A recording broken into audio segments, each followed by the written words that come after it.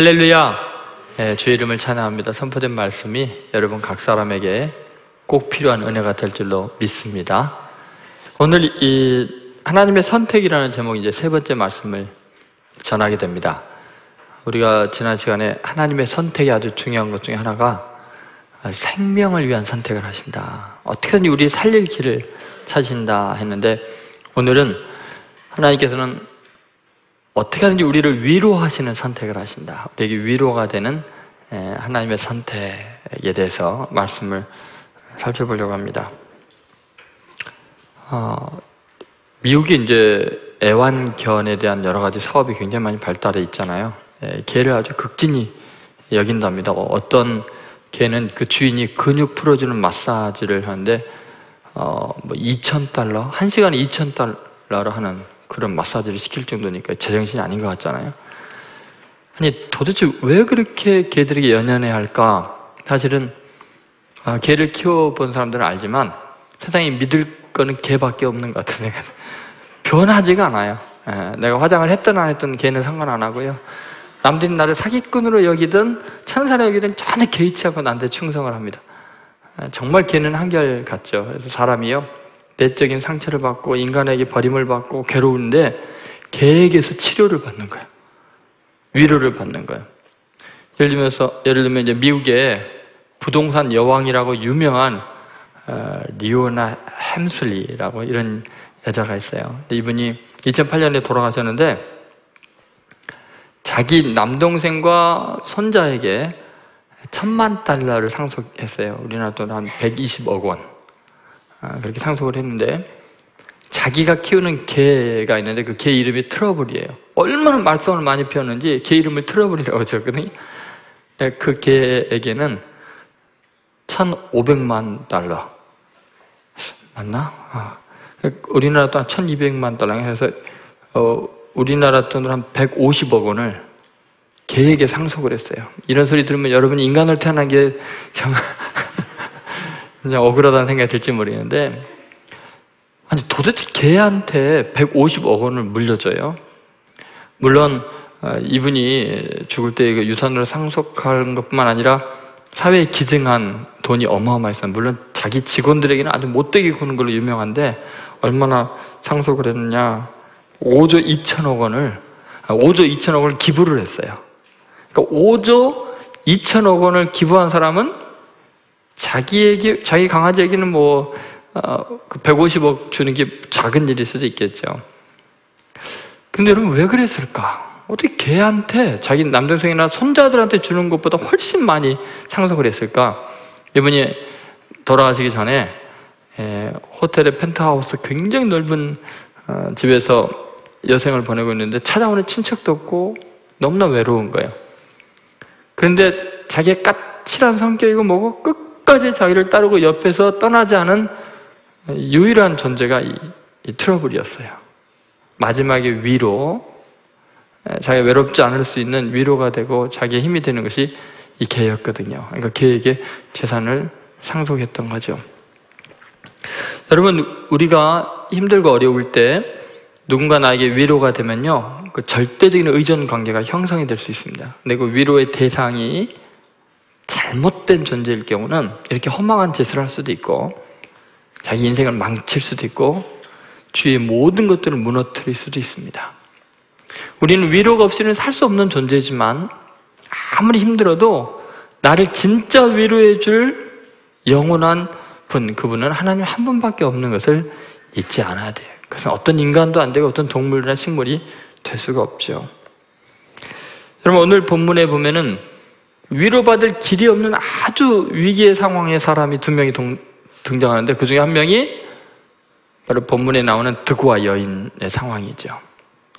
왜 그래요? 3주 동안 이 본문에 읽었으니까 알겠죠? 예, 큰 아들이 작은 아들을 돌로 쳐 죽였고 마을 사람들은 법대로 살인한 자를 내놔라. 그도 죽여서 대를 끊어야겠다. 남편은 일찍 죽고 없는 상태에서 더 이상 위로받을 길이 없습니다. 그래서 그녀가 유일한 탈출구로 찾아간 것이 다윗 왕이라는 거죠. 물론 그것은 요압 장군이 그렇게 하도록 권했지만은 그런데 여러분 이 여인이 다윗에게 하는 이야기를 들어보면요. 그 대화법이 기가 막힙니다. 사실은 자기와 절망 가운데 자기와 다윗 왕의 관계 그것은 다윗 왕이 은혜로만 살 수 있고 다윗 왕이 위로해줘만 살 수 있는 건데 이걸 그대로 절망 가운데 있는 다윗과 하나님 다윗의 왕이신 하나님 그분과의 관계로 전이시키고 있는 거예요. 이게 무슨 말이냐면요. 다윗에게는 암론 왕자가 셋째 왕자인 압살롬에 의해서 살해를 당하잖아요. 그러니까 법대로 하면 압살롬도 잡아서 죽여야 되거든요. 근데 왕자를 잃어버린 것도 지금 다윗에게는 절망인데 또 셋째도 죽여야 된다는 것이 너무 고통일 거 아니에요. 그러니까 이 지금 드고와 여인의 형편이 다윗에게는 자기의 문제로 인식이 되는 거예요. 그러니까 긍휼을 베푸는 거죠. 그래서 이 여인은 당신이 당신의 백성이 나에게 한 것처럼 왜 당신 자신에게는 하지 않느냐는 거예요. 당신도 당신의 왕이신 하나님에게 요청하면 하나님이 살 길을 열어주고 당신을 위로해 줄 거 아니냐. 그 대화 내용이 15절부터 17절에 있는 내용이에요. 여러분, 우리는 살아가면서요, 위로받을 길이 없어요. 너무너무 힘든 상황들이 많아요. 도대체 주님께서 이 여인처럼 이러지도 못하고 저러지도 못하고 다윗처럼 도저히 빠져나올 길이 없는 절망적인 상황에서 하나님은 우리를 어떻게 위로하실까요? 주님의 위로의 손길이 오늘 이 시간에 여러분에게 가득하게 되기를 바랍니다. 이민족이 좀 그래요. 첫 번째 아, 중요한 건 뭐냐면 기도의 위로입니다. 한번 따라서 기도의 위로. 여러분 우리가 하나님 앞에 기도하면 하나님께서 시행해 주실 수 있다는 이 진리만큼 우리를 크게 위로해 주는 건 없습니다. 오늘 15절 보면은 드고와 여인이 왕에게 요청하고 찾아가고 기도하는 그것을 보면 알 수 있어요. 한번 같이 읽어보겠습니다. 이제 내가 와서 내 주 왕께 이 말씀을 엿줍는 것은 백성들이 나를 두렵게 함으로 당신의 여종이 스스로 말하기를 내가 왕께 여쭈면 혹시 종이 청하는 것을 왕께서 시행하실 것이라 그 여인이 왕 앞에 나와서 이 절망적인 상황을 이야기하는 이유가 뭐예요? 왕께 여쭈면 어떻게 혹시 왕이 종이 청하는 것을 왕께서 뭐해요? 시행하실 것이라. 여러분 이 여인이 절망 가운데 있을 때 그리고 법대로 하면 희망이 없고 상황적으로 도저히 빠져나갈 구멍이 없을 때 그 모든 실권을 지닌 왕이 은혜를 베풀면 내가 왕에게 요청을 하면 그분이 혹시 시행하실지라 그것밖에는 그녀에게는 소망이 없는 거예요. 여러분 우리가 살아가면서 이래도 안 되고 저래도 안 되고 도저히 빠져나갈 기, 기, 어떤 방법이 없을 때 그때 기도가 있어요. 기도가 하나님께서는 그 기도를 통해서 우리를 위로하기를 원하세요. 그리고 그 기도대로 시행하시는 하나님이신 줄로 믿습니다. 여러분 다윗 왕에게는 아, 자기 왕이신 하나님이 계시잖아요. 그 절박한 상황에서 이 두고와 여인이 자기에게 와서 요청을 하면은 자기가 은혜 베풀 줄 아는 것처럼 왕이 시행할 줄 아는 것처럼 자기는 왜 자기 왕이신 하나님께 요청하지 않냐는 거예요. 그 여인이 지금 그렇게 가르치고 있는 거예요. 여러분 성경은 끊임없이 인간 의지하지 말라 그래요. 사람 의지해봤자 상처투성이라고요. 왜냐하면 내가 의지한 그 대상이 나보다 더 비참한 존재들이 될 수도 있어요. 10편 146편 3절에서 5절에 이런 말씀이 있습니다. 같이 있습니다. 귀인들을 의지하지 말며 도울 힘이 없는 인생도 의지하지 말지니 그의 호흡이 끊어지면 흙으로 돌아가서 그날에 그의 생각이 소멸하리로다. 야곱의 하나님을 자기의 도움으로 삼으며 여호와 자기 하나님에게 자기의 소망을 두는 자는 복이 있도다. 여러분 어떤 사람이 복이 있어요? 네, 하나님을 자기 도움으로 삼고 여호와 자기 하나님에게 자기 소망을 두는 사람 복이 있다는 거예요. 하나님 앞에 나아가서 하나님밖에 없다고 나 도와주시고 이 일을 해결하실 분은 내 하나님밖에 없다고 그 사람이 복 있는 사람이요. 쓸데없이 귀인을 찾아가고 사람을 찾아가봤자 사람 의지해봤자 그 사람 때문에 낭패당한 거예요. 그 사람은 도림이 없어요. 여러분 우리에게 주님께서 끊임없이 말씀하십니다. 너에게 하나님이 계시지 않냐? 다윗, 너에게 하나님이 계시지 않냐? 너의 왕이 계시지 않냐? 우리에게도 말씀하세요. 구약에 끊임없이 하나님이 이야기하죠. 내 입을 넓게 벌리라. 내가 채우리라. 환란 날에 내게 부르짖으라. 내가 너를 건져내고 너를 영화롭게 하리라. 하나님은 계속해서 기도의 필요성을 요청하시면 내가 시행하겠다고 하시죠. 신앙에 가면요. 이렇게 이야기하시죠. 마태복음 7장 7절에서 8절에 보면 예수님이 하신 말씀입니다. 같이 있습니다. 구하라. 그리하면 너에게 주실 것이요. 찾으라. 그리하면 찾아낼 것이요. 문을 두드리라. 그리하면 너에게 열릴 것이니 예, 구하는 이마다 받을 것이요. 찾는 이는 찾아낼 것이요. 두드리는 이에게는 열릴 것이니라. 누가 한 말이에요? 예수님이 하신 말씀이요. 지금 이 두가 여인은 왕이 요청하라고 한 게 아니에요. 근데 자기 생각에 혹시 내가 요청하면 왕이 혹시 시행하시리다라는 추측을 가지고 나왔어요. 굉장히 불안한 것일 수 있어요. 그런데 우리가 하나님 앞에 나아갈 때는요, 하나님이 구하라고 했고, 찾으라고 했고, 두드리라고 하셨어요. 주시겠다고 약속을 하셨어요. 이건 100% 응답되는 거예요. 왜냐하면 하나님이 친히 약속하신 거니까, 요청하라고 하셨으니까. 그러니까 두고와 여인의 요청과는 비교가 안 돼요. 여러분 절망하지 마세요. 어떤 상황에도 사방에 우겨쌈을 당하여도 길이 없는 것 같아도 주님은 우리에게 기도의 위로를 허락해 주신 거예요. 네가 요청하면 내가 시행하겠다. 구할 거냐? 내가 줄게. 찾으면 찾게 될 거고 두드리면 열어줄게.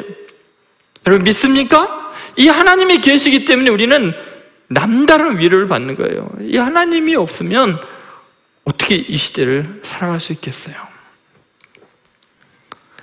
여러분 주님께서 우리에게 때를 따라서 감당할 수 없는 시험을 주시는 것 같지만 다 피할 길을 주십니다. 히브리서 4장 16절에 보면은 이렇게 나와 있습니다. 같이 있습니다. 그러므로 우리는 긍휼하심을 받고 때를 따라 돕는 은혜를 얻기 위하여 은혜의 보좌 앞에 담대히 나아갈 것이니라. 여러분 이 두가 여인이 다윗 왕에게 담대히 나가는 이유는 뭐냐면 그 다윗 왕은 자비로운 왕인 줄 알기 때문에 하나님의 성품을 닮은 하나님 마음에 합한 사람이기 때문에 뭔가 살 길을 열어줄 줄을 믿은 거예요. 여러분 우리는 긍휼하심을 받고 때를 따라 돕는 은혜를 얻기 위해서 이 말 속에는 나는 자격이 있어서 나아가는 게 아니라는 거예요. 불쌍히 여기면 받는 길밖에 없고 돕는 은혜를 얻기 위해서라는 것은 은혜가 아니면 자랑할 것이 없는 죄인이라는 거예요. 그럼에도 불구하고 우리가 담대히 나갈 수 있는 것은 뭐냐면 그분의 보좌는 무슨 보좌예요? 은혜의 보좌거든요. 은혜 베푸는 보좌거든요. 구하면 주시기를 원하시고 어떻게든지 도와주기를 원하시고 위로하기를 원하시는 하나님이시기 때문에 그래요. 하나님은 뭐를 선택하느냐? 위로를 선택하시는 거예요. 그리고 기도하는 사람의 기도를 선택하시는 거예요. 여러분, 오늘 본문의 이 여인이 고백한 것처럼 사람들이 나를 두렵게 하는데 왕 밖에는 나를 살릴 분이 없습니다. 시편 118편 5절 6절에 보면은 굉장히 유명한 중요한 말씀이 있습니다. 인류 역사에 가장 중요한 일이 성공할 수 있었던 놀라운 구절입니다. 이 구절 한번 같이 읽어보겠습니다. 내가 고통 중에 여호와께 부르짖었더니 여호와께서 응답하시고 나를 넓은 곳에 세우셨도다. 여호와는 내 편이시라. 내가 두려워하지 아니하리니 사람이 내게 어찌할까? 여러분 지금 고통 중에 두려움 속에서 하나님께 부르짖었다고 이야기합니다. 여호와께 부르짖었던 여호와께서 뭐 했다고요? 응답하셨다는 거예요. 시행하셨다는 거예요. 마틴 루터가 지금부터 499년 전에 교황과 맞서서 그 절대 권력을 지닌 생사를 쥐고 있는 그 교황의 권세에 맞서서 종교 개혁을 일으킬 때 두렵고 절망스러웠죠. 그런데 마틴 루터가요 끝까지 승리할 수 있었던 이유가 뭐냐면 이성경 구절 때문이었습니다. 10편 118편 5, 6절 이걸 달달 외웠어요. 루터가 이렇게 고백을 합니다. 10편 118편은 내가 가장 사랑하는 나의 시입니다. 진실로 이 시는 여러 차례 나에게 도움을 주었고 나의 생명을 붙잡아 주었던 말씀이면서 동시에 나에게는 하나님의 음성 그 자체였습니다. 이 시는 황제도 군왕도 제자도 모사도 성직자도 나를 도와주려고 하지 않을 때 많은 눈물과 고통으로부터 나를 건져 주었고 용기와 힘을 불어넣어 주었던 생명의 시였습니다. 여러분 황제도 그 누구도 나를 도와줄 수 없는 상황에서 내게 생명을 불어넣어 준 것이 이 시라는 거예요. 근데 이 시의 핵심이 뭔데요? 내가 여호와께 부르짖었더니 여호와께서 나를 건져 주셨다는 거예요. 그리고 나를 넓은 곳에 세워 주셨다는 거예요.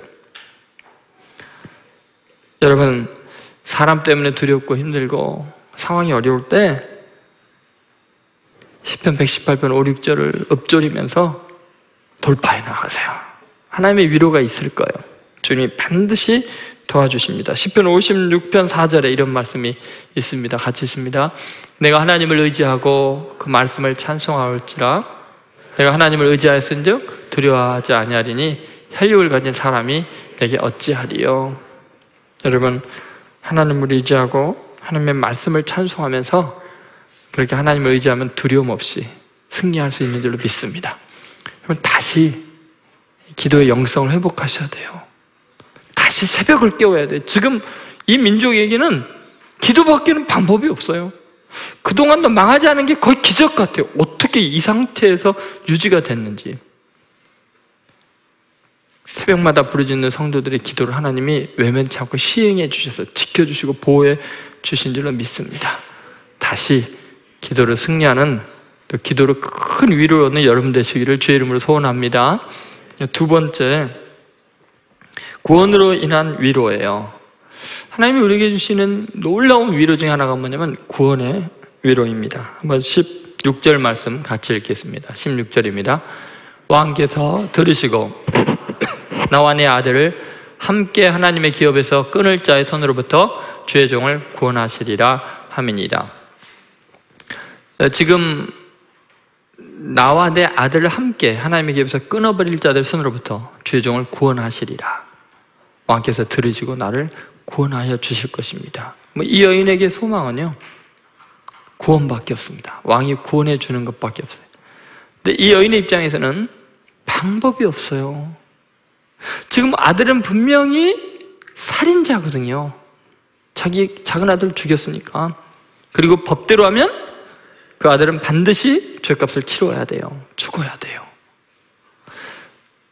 이 여인이 할 수 있는 건 아무것도 없어요.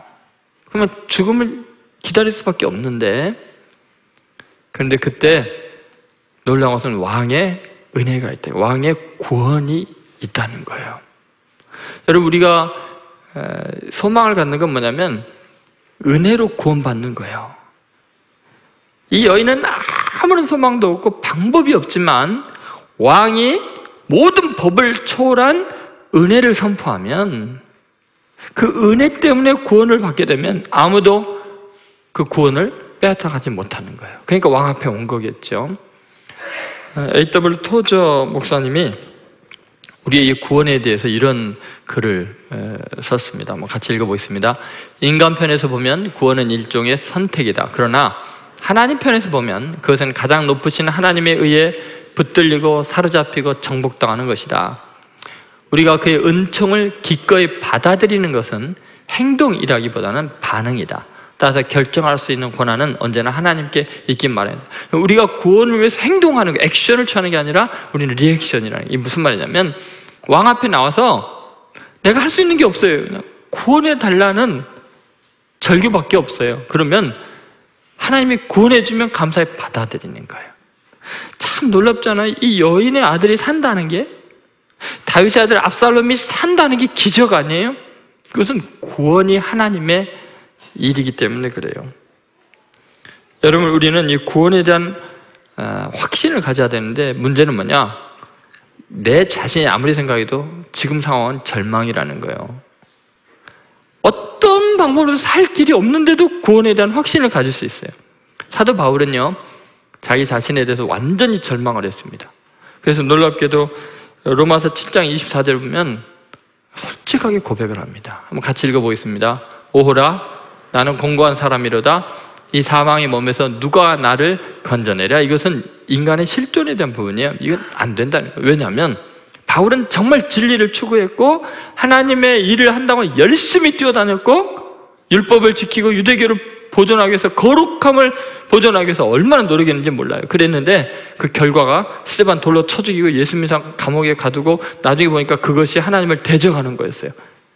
너무너무 자기 자신에 대해서 절망해가지고 식음을 전폐하고 죽기로 작정을 하죠. 눈이 멀어버렸어요. 너무 충격이 커서. 그래서 이 사망의 몸에서 누가 나를 건져내랴. 그렇게 절망했죠. 그런데 나중에 바울이 깨달은 게 뭐냐면 그럼에도 불구하고 하나님이 그를 위대하게 사용하시는 거예요. 이는 내가 택한 그릇이다. 그래서 에베소서 2장 8절 9절에 그 유명한 말을 하죠. 같이 읽어보겠습니다. 너희는 그 은혜에 의하여 믿음으로 말미암아 구원을 받았으니 이것은 너희에게서 난 것이 아니요 하나님의 선물이라 행위에서 난 것이 아니니 누구든지 자랑하지 못하게 합니다. 여러분 보세요. 행위에서 난 게 아니라는 거예요. 이것은 하나님의 은혜로 믿음으로 말미암아 구원을 받은 거예요. 자, 이 드고아 여인이 자기 아들이 살 수 있는 방법이 뭐냐?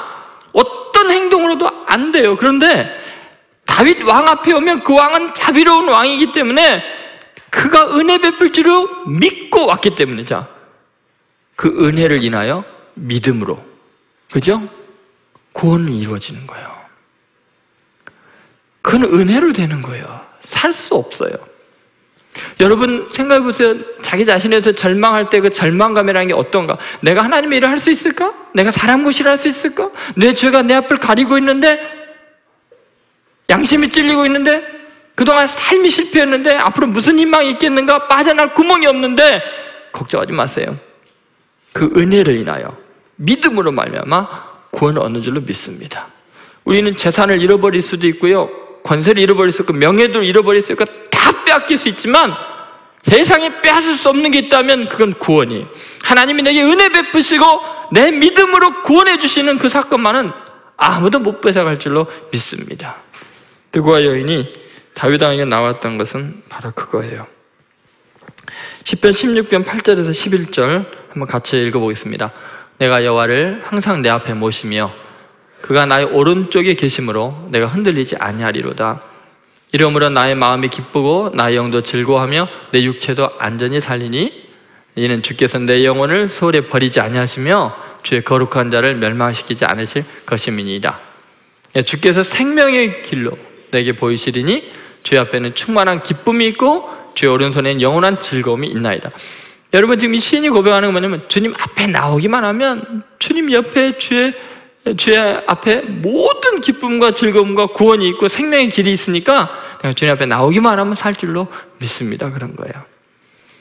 여러분 우리는 이 구원 얻은 이 확실한 사실 하나 때문에 세상의 그 모든 걸 잃어버려도 기뻐할 수 있고 당당할 수 있어야 돼요. 빼앗길 수 없는 놀라운 은혜이죠. 한 부자 크리스찬이 있었는데요. 이분이 워낙 사랑이 많고 부유한 사람이었어요. 근데 운전기사가 젊은 사람이 있었는데 너무 충성스러운 거예요, 운전기사가. 복음을 전하고 예수 믿으라고 교회 가라고 아무리 이야기해도 뭐 너무 착한 사람이다 보니까 아유, 저는 열심히 살고 있습니다. 주님 잘 섬길 테니까 걱정하지 마세요. 제 교회 안 가도 됩니다. 계속 그러는 거예요. 근데 이 주인의 입장에서는 저 착한 사람이 지옥에 가면 안 되는데 예수 믿고 구원을 받아야 되는데 복음을 전하다 전하다가 안 되겠어요. 그리고 주님 오실 날이 가까울 것 같고 자기도 뭐 언제 이제 주님 앞으로 갈지 모르니까 이 사람 어차피 예수 안 믿는 사람이라면 이 땅에서라도 좀 행복하게 살라고 하루는 불렀어요. 자네가 그동안 내 차를 정말 귀하게 여겨줘서 고맙네. 이 고급 승용차 주님 오시면 나한테는 필요가 없다네. 그러니까 이차 자네가 하게. 아, 참, 그리고 우리 집 이 대저택이 내가 하늘나라에 가서 살 사람이니까 우리 주님이 예비한 집에 가야 되니까 이 땅에 있는 이 집은 내가 필요 없으니까 주님 재림하실 때 이 집 자네가 쓰게 아내랑 데려와 쓰게. 뭐 이, 이 젊은이 막 좋아갖고 지금 어쩔 줄을 모르는 거. 정말이에요 정말이에요. 근데 그럼 그리고 생각해 보니까 어마어마하게 넓은 대지가 있지 않는가 음, 나는 이 땅에 소망이 없어. 하늘나라에 영원한 상급이 있기 때문에 이 땅은 어차피 심판을 받고 없어질 것이니까 그 전까지 자네가 다 하게. 뭐 이 청년이 너무 좋아가지고 막 정신을 못 차리고 그 퇴근하면서 막 집에 뛰어 들어왔어요. 여보, 여보, 우리 사장님이 자동차도 주시고 집도 주시고 땅도 다 우리에게 물려주신대. 예수님 제일 빨리 했으면 좋겠어. 그랬는데 좋아서 잠이 뭐 잠이 안 드는가 했더니 갑자기 근심으로 바뀌는. 가만 생각해 보니까 아니 세상 사람들이 그렇게 부러워하는 저 모든 재물을 그냥 조건 없이 다 준다고 하는 거 보니까 정말 예수님 계신 거 아니야? 정말 주님 제일 많은 거 아니야? 정말 영원한 세계가 있는 거 아니야? 그런 두려움이 생긴 거예요. 그렇지 않고서 어떻게 이 귀한 걸 그냥 주냐고요. 그럼 저 사람은 버리고 가는 걸 나는 이것 때문에 몰두해 있다는 게 너무 자기 자신이 용납이 안 되는 거예요. 아, 이건 진리가 틀림없구나 하고서 새벽인데 달려갔어요. 문을 두드릴 때 누구세요? 접니다. 그러니까 저가 누군지 모르겠는데 운전기사입니다. 어서 들어오라고. 왜 왔냐 그랬더니 저 자동차 필요 없습니다. 아니 왜? 아, 저 집도 필요 없고요. 대지도 다 필요 없습니다. 저 구원이 필요합니다. 저도 예수님 믿고 싶습니다. 저도 예수님 재림을 준비하고 싶습니다. 그것밖에는 정말 중요한 게 없는 걸 알았습니다. 저에게 예수님을 좀 전해 주십시오. 여러분, 우리가 살아가면서요, 잃어버린 이 어떤 것들 때문에 마음의 상처를 받고, 연연해 하는 것, 그것 때문에. 그것이 재산일 수도 있고, 권력일 수도 있고, 명예일 수도 있는데요. 그것 아무것도 아닙니다. 우리에게는 영원한 구원이 확보되어 있잖아요. 이건 다 내려놓을 수 있는 것들이에요. 우리가 위로를 받을 수 있는 궁극적인 건 뭐냐면 다른 거 다 빼앗겨도 구원만은 빼앗기지 않은 줄로 믿습니다. 예, 구원 받았으면 이 세상에서 누릴 수 있으면 좋고 못 누려도 할 수 없는 거예요. 여러분 영원한 생명을 주신 주님 때문에 기뻐하고 감사하면서 구원으로 인한 위로로 늘 기쁨이 충만하시기를 주의 이름으로 소원합니다. 지금 이 시대가 그렇잖아요. 뭐 경제가 지금 뭐 얼마나 좀 휘청휘청거리고 있어요. 그죠? 그래서 불안해하죠. 약간씩. 그리고 문화, 정치, 그 다음에 종교계, 지금 다 허물어져 내리고 있잖아요. 설 곳이 없어지는 것 같잖아요. 그러나, 그럴지라도 우리의 구원은 영원히 보장되는 것을 믿고 끝까지 든든히 주님을 찬양하시기를 간절히 소원합니다. 세 번째, 말씀의 위로. 한번 따라하세요. 말씀의 위로. 여러분, 17절을 한번 보시죠. 17절 말씀 같이 읽겠습니다. 당신의 여종이 또 스스로 말하기를 내 주 왕의 말씀이 나의 위로가 되기를 원한다 하였사오니 이는 내 주 왕께서 하나님의 사자같이 선과 악을 분간하심이니이다. 오라간데 왕의 하나님 여호와께서 왕과 같이 계시옵소서. 여러분 여기 보면은 어, 내주 왕의 말씀이 나에게 뭐가 되기를 원한다고요? 위로가 되기를 원합니다. 그러니까 왕의 말이 말씀이 내게 위로가 된다는 거예요. 근데 그 조건을 달았어요. 그냥 위로가 되는 게 아니에요. 10절 하반절에 보면은 그런 이야기를 하잖아요. 아, 내주 왕께서 뭐와 같다요? 하나님의 사자 같이, 하나님의 메신저 같다는 거예요. 하나님의 말씀을 전해주는 분 같아서 선과 악을 분간하심이다. 원하건대 왕이 하나님 여호와께서 왕과 같이 계십. 지금 왕이 무슨 말을 하는데 그 말은 하나님의 메시지를 전해야 됩니다. 하나님이 옆에 지금 계신 것처럼 말씀하셔야 됩니다. 그게 내 소망이라는 거예요. 다시 말해서 이 드과 여인이 복잡하게 말하는 것 같지만 말은 간단해요. 하나님의 말씀이 내 위로가 됩니다. 그러니까 왕의 말씀이 내 위로가 되기를 원한다라는 말은 하나님의 말씀은 내 위로인데 왕이 하나님의 말씀 하시기 바랍니다 이 말이에요. 하나님의 말씀이 우리의 인생에 위로가 됩니다. 여러분 우리가 인생 살아가면서 이제 아주 큰 위기를 겪거나 어려움을 겪을 때는요, 지푸라기라도 잡고 싶은 생각이 듭니다. 그래서 뭐 주위에 있는 사람들이 아프거나 병들거나 어려워질거나 이럴 때 누군가가 위로자가 나타나면요, 그 사람 붙들고 평생을 의지하게 되죠. 예를 들어서 러시아의 로마노프 왕가가 몰락할 때 마지막 어, 그때 그 왕후에게 접근해 가던 사람이 있어요. 그 사람이 어, 라스푸틴이라는 그 돌중인데요. 요승이라고 그러죠. 이 사람은 원래 농민이었고 훔 쳐가다가 잡혀갖고 도망다니던 사람이 수도원을 도망다니다가 어떻게 수도승이 돼가지고 그것도 신흥 종교, 그러니까 사이비 같은 거죠.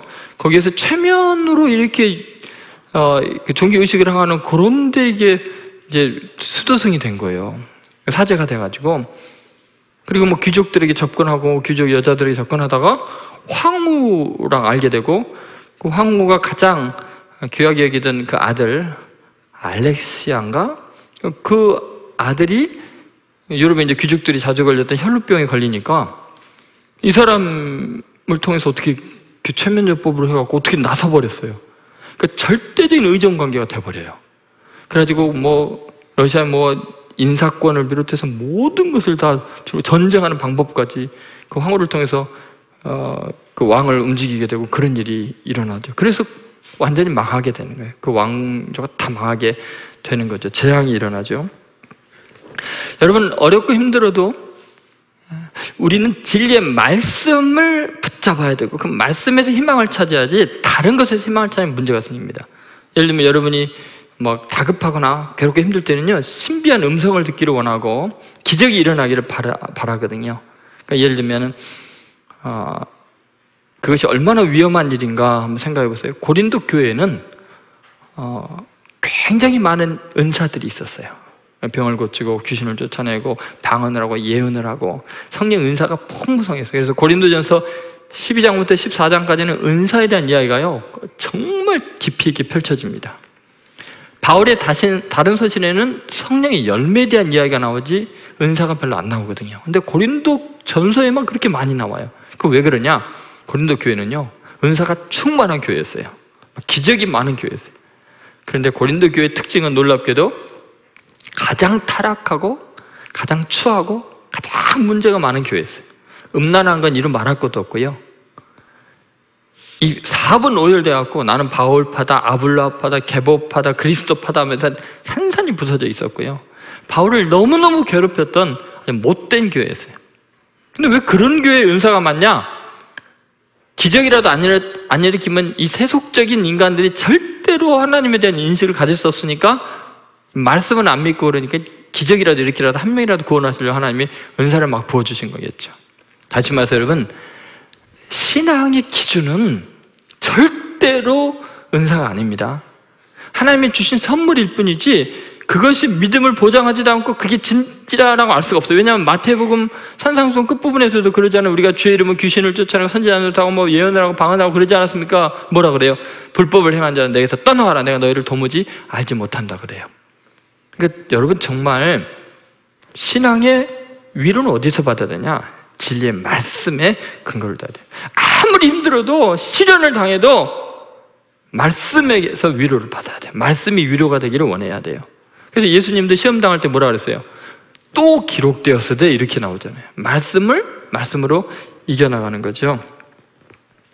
여러분 우리들은 인생 살아가면서 하나님의 날 잊어버리셨는가? 왜 내 인생이 이렇게 고달프고 무겁고 힘들고 왜 내게 이런 일을 하라하신다 하나님이 날 버리셨는가? 왜 내 송사를 뒤로 던지셨는가? 그럴 수 있어요. 이스라엘 사람들이 그런 고민을 이야기하죠. 이사야서 40장 27절에 우리들의 마음 같은 고백이 있어요. 한번 같이 읽어보겠습니다.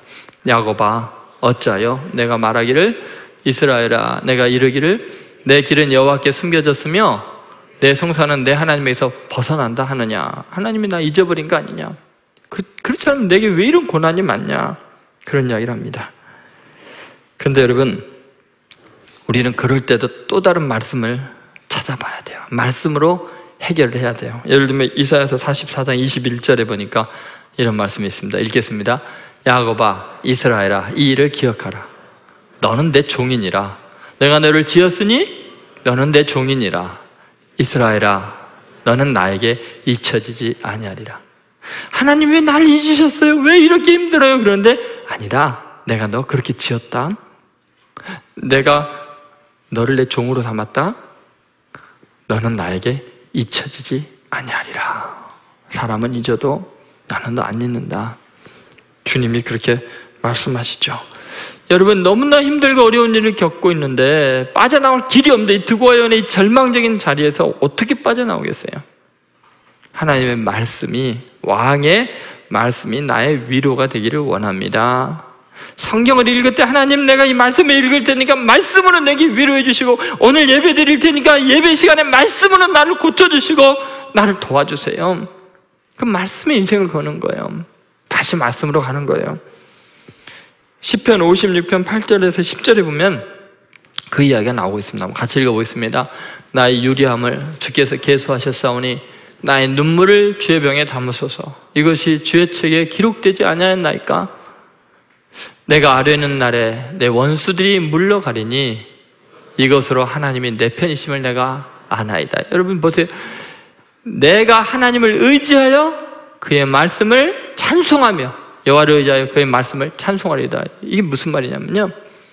내 눈을 주의 병에 담으소서 할 만큼 눈물이 흘러내리는 너무나 고통스러운 순간이에요.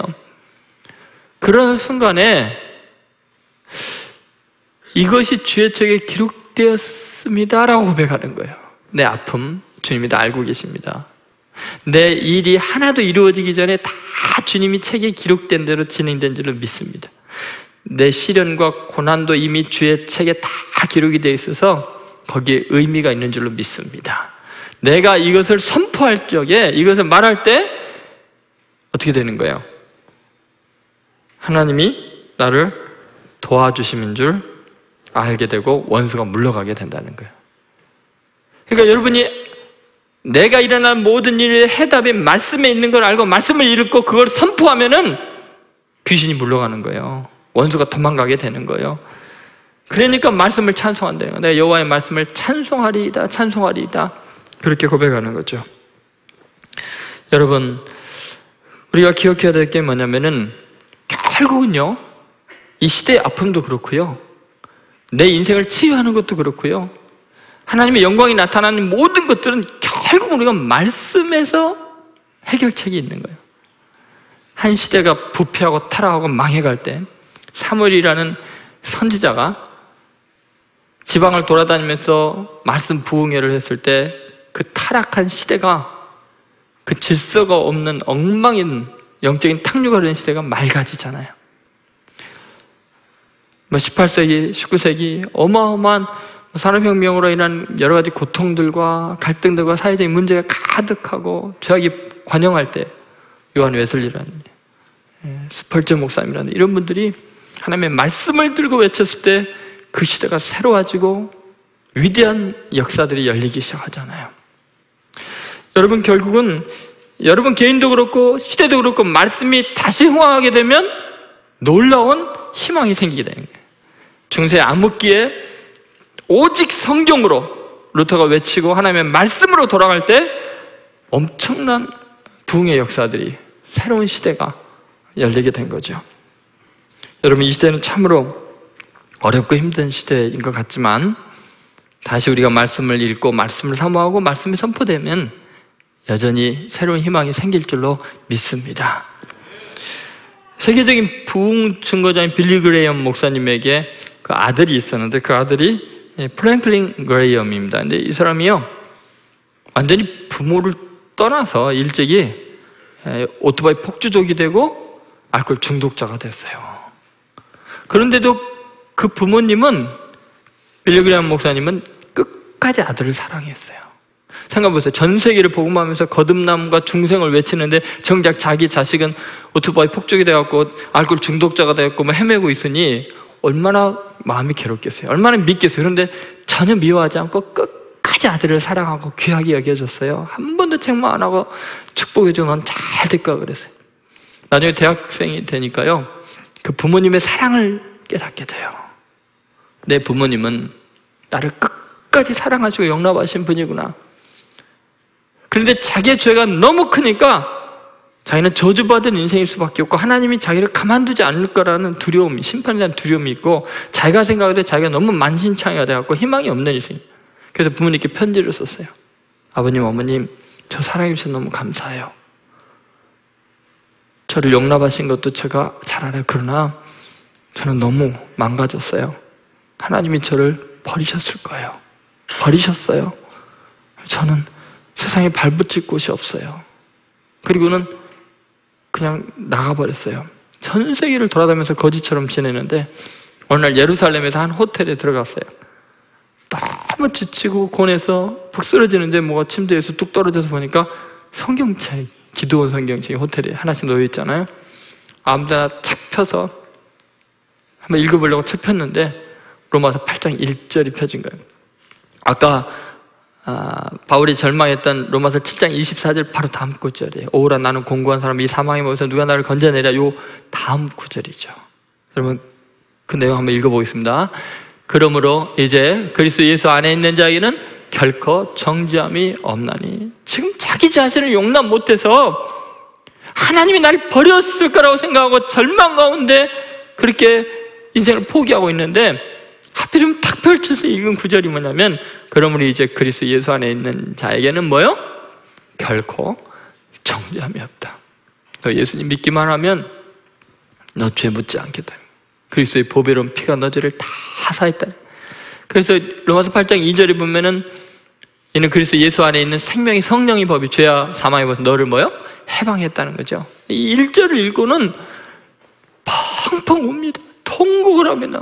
호텔이 뭐 흔들흔들 할 정도로 그냥 앙 울면서 하나님 아버지, 하나님 아버지 이미 저를 정죄하지 않았고 이미 예수 안에서 나를 해방시켰는데 제가 그것도 모르고 이렇게 방하고 절망하고 내 자신 용서 못했던 죄를 회개합니다. 용서해 주시고 나를 불쌍히 하게 주옵소서. 그렇게 간절히 몇 시간을 기도하고는 아버지께 전화했어요. 아버지, 이제야 제가 자유로워졌어요. 하나님의 말씀에서 나를 용서하시는 하나님을 만났습니다. 아버지 사랑해요. 다시 돌아갈게요. 아들아, 그럴 줄 알았다. 내 하나님이 너 포기하지 않을 줄 알았다. 어서 오너라.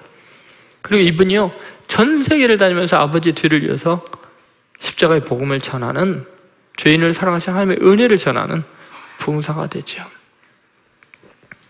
여러분, 우리 인생은 다른 사람의 문제 때문에, 가족의 문제 때문에, 또는 사회적인 정황 때문에 절망에 처하고 위로를 받을 길이 없을 때가 있지만, 하나님은 우리에게 가장 좋은 선택의 은혜를 주셨어요. 그 뭐냐면, 기도 응답의 위로를 주실 거예요. 기도할 수 있으면 다시 일어나는 거예요. 그리고 적어도 구원의 은혜를 주셨어요. 구원의 위로를 주셨어요. 그리고 말씀이 있잖아요.